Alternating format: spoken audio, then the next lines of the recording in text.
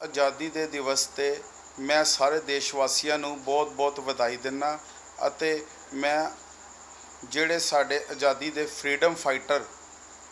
ਨੇ ਲੜਾਈ ਲੜੀ ਹੈ, ਮੈਂ ਉਸ ਨੌਜਵਾਨ ਪੀੜ੍ਹੀ ਨੂੰ ਉਹਨਾਂ ਦੇ ਰਾਹ ਤੇ ਚੱਲਣ ਲਈ ਪ੍ਰੇਰਿਤ ਕਰਨਾ ਅਤੇ ਸ਼੍ਰੀ ਰਮਨ ਬਹਿਲ ਜੀ ਨੇ ਜਿਹੜਾ ਸਗਾ- ਸਮਾਗਮ ਰੱਖਿਆ ਹੈ, ਅਸੀਂ ਉਹਦੇ ਤੇ ਆਏ ਹਾਂ ਅਤੇ ਉਹਨਾਂ ਨਾਲ ਮੋਢੇ ਨਾਲ ਮੋਢਾ ਲਾ ਕੇ ਅਸੀਂ ਹਰ ਵੇਲੇ ਉਹਨਾਂ ਨਾਲ ਖੜੇ ਹਾਂ। ਧੰਨਵਾਦ।